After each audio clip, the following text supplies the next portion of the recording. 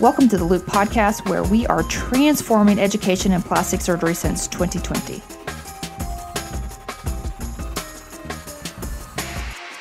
Hello, everyone, and welcome back to the Loupe podcast. Today's episode is a resident based in service review of breast reduction. This is a supplementary episode and not a comprehensive review. This is a breakdown of key points from previous examinations from the ACAPS website that may help studying for boards or in service. This is a pretty short topic and has some overlap with some other core topics listed in the core quest. And so that usually means it is a high yield and highly tested subject. I have with me here Dr. Sanam Zahedi. How are you doing? Good. How's it going?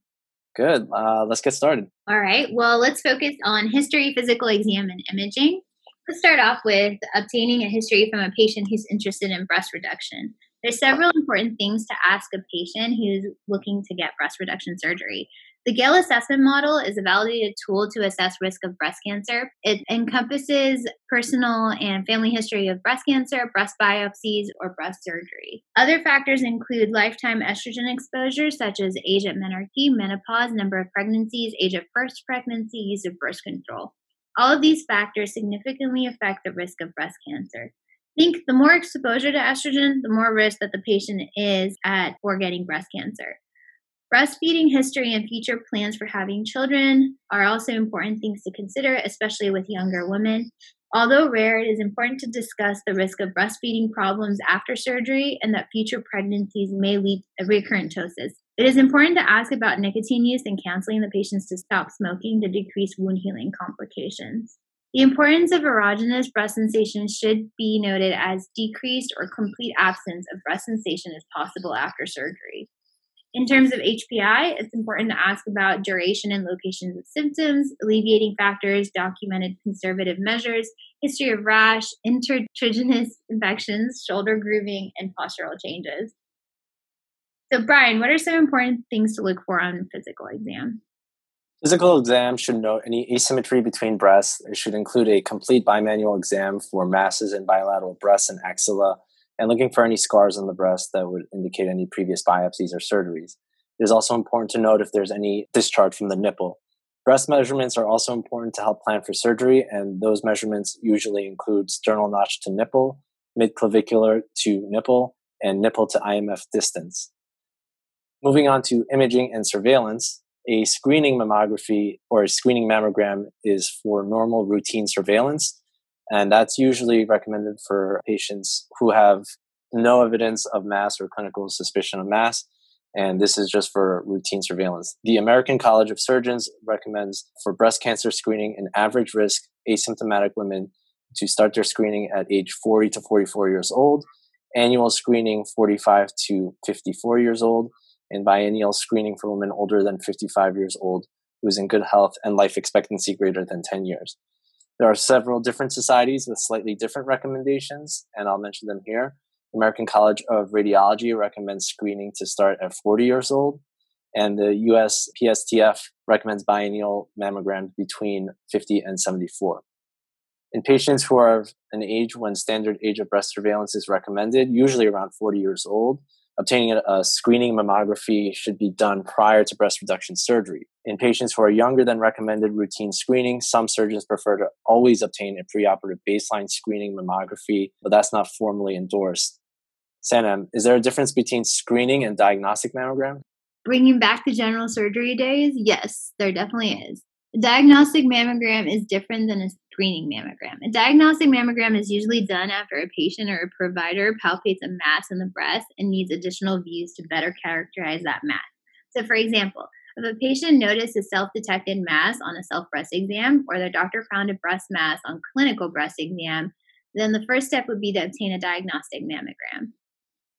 MRI is an adjunct to mammogram in cases of known BRCA mutation, or if a first degree relative has BRCA mutations. Ultrasound is another adjunct to mammograms. It's useful in patients with dense breast tissue and it helps characterizes the breast mass to determine whether it's fluid filled or solid. Now let's talk about the risk of breast cancer and incidental findings after breast reduction. This seems to come up on the in-service every single year. Yeah, so if performing an ipsilateral mastectomy for breast cancer with contralateral breast reduction for symmetry, there is a 5% probability of an occult breast cancer detected incidentally in tissue specimen for the reduction. The rate of incidental breast cancer found in a specimen of reduction in an average risk patient is approximately 1%. There are some other incidental findings that typically come up on the exam. For example, incidental ALH or atypical lobular hyperplasia. This increases the risk of breast cancer, and at that point, you would want to refer the patient to a breast or oncology surgeon. Incidental ADH or atypical ductal hyperplasia is also putting the patient at increased risk for breast cancer you start by doing a risk assessment model. You can use the Gail assessment model to determine if uh, the patient's at high risk. And then again, you want to refer to a breast or oncology surgeon. If a one centimeter papilloma is found on a pathological specimen, the first thing you want to do is get a mammogram, regardless if the patient had a screening or diagnostic mammogram before the surgery. You want to repeat that and then again refer out to a breast or oncology specialist. Sanam, what are the high yield benign breast masses we should know? Well, the first one that comes to mind is accessory breast tissue. That occurs along the embryonic milk line and enlarges during hormonal stimulation, like puberty. It's rapid enlargement associated with pain, and on histology, you're going to see glandular tissue and potentially receptor staining for estrogen and progesterone. The second one is fibroadenoma. That's a firm, rubbery nodule, usually within the ectopic breast. And on histology, you're going to see epithelial and stromal proliferation. Uh, the next one is lipoma. On histology, of course, you're going to see mature adipose tissue. And then you have juvenile papillomatosis or the Swiss cheese disease. On histology, you're going to see epithelial hyperplasia, papillomatosis, sclerosing adenosis, and cysts.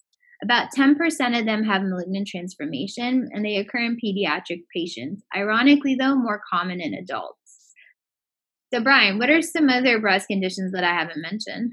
Sure. We'll talk about galactorrhea. It's usually multifactorial in etiology. It usually happens from uh, stimulation of prolactin secretion. It can be a pathophysiologic reason. It can happen from breast manipulation. It can happen from a periareolar incision or irritation from the fourth intercostal nerve. And that affects the afferent signal to the pituitary gland.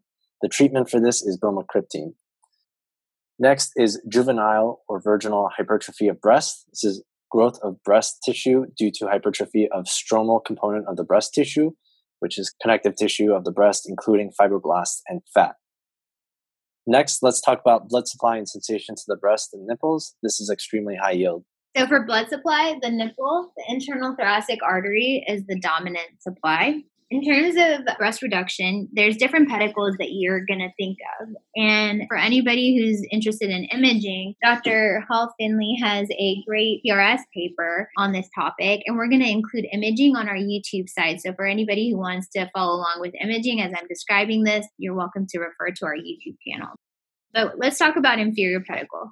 So the blood supply for an inferior pedicle comes from both the deep artery and vein coming just above the fifth rib and the more superficial arteries from the fifth interspace coursing down around the periphery of the breast and then traveling up in the subcutaneous tissue. For a central pedicle, the blood supply is dependent entirely on the artery and venae comitans that penetrate up from the fourth interspace. For a superior pedicle, the blood supply is from the descending branch of the artery coming from the second interspace of the internal mammary system. And for a medial pedicle, the blood supply curves up around the periphery of the breast from the third interspace and runs in the subcutaneous tissue towards the nipple. In terms of nipple sensation, if you're having a Wise pattern reduction with a superior medial pedicle, the terminal branches of the fourth and fifth anterior intercostal nerves provide your main sensation because your lateral branches are sacrificed as part of the breast that's excised. But if you're not having a wise pattern reduction, then and you just are talking about normal breast sensation in a breast that's never been operated on, then the lateral branches of the fourth and fifth intercostal nerves are going to give you the main nerve innervation. Lastly, let's go over some of the most common complications after breast reduction surgery. So, some of the most common complications happen with delayed wound healing, and that's oh. typically at the T junction of a wise pattern incision. The next most common complication is a spitting suture. It's quoted around 9%. Hematoma around 3 to 4%. Nipple necrosis is about 3.5%. Hypertrophic scars, 2.5%. Fat necrosis is 1.8%, but there are certain risk factors that can increase that risk. For example, tissue resection weight, a long sternal notch to nipple distance of greater than 37 centimeters, elevated BMI. There are some other less clear risk factors that could increase the risk of fat necrosis, and that includes smoking and surgical technique. Hormonal therapy and birth control pills are not considered risk factors for fat necrosis. Neither is age or history of massive weight loss. If a mass is palpated postoperatively, it's important to do an ultrasound and a mammogram to confirm suspicions of fat necrosis. Some other less common complications include seroma, that's about 1%, or infection, that's about, again, 1%. Breastfeeding complications is a potential risk, although it's, it's very rare. And the only technique that can mitigate that risk, this was a question on in service, was liposuction is the most protective of this risk and complication. As you're not cutting, you're just using a cannula. Well, that ends our quick review of breast reduction. Just a reminder, this is not a comprehensive talk, just going over the most recent ACAPS uh, published in-service exam and hope to see you guys next time. Have a good one.